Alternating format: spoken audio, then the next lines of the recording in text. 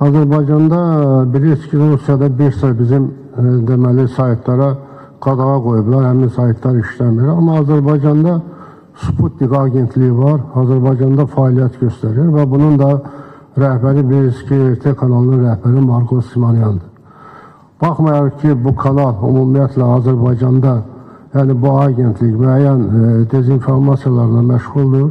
Bu kanalla əlaqədar həm devri mətbuatda, həm mənim xüsusi çıxışlarım, müraciətlərim olub, amma bu kanal bu günə kimi fəaliyyət göstərir. Bu yaxınlarda da onun rəhbərini dəyişiblər.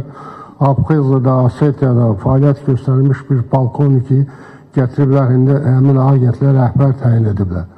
Mən belə hesab edirəm ki, ümumiyyətlə belə bir, hətta cənab prezident Mehriban xanım da Moskvada olanda Simaylanın onlara qarşı verdiyi necə deyirlər, lazım olmayan sualları bir daha onu göstərir ki, e, bu agentlik Azərbaycanda ümumiyyətlə fəaliyyətini dayandırmalıdır. Ona görə də mən Mətbuat Şurasına müraciət edirəm.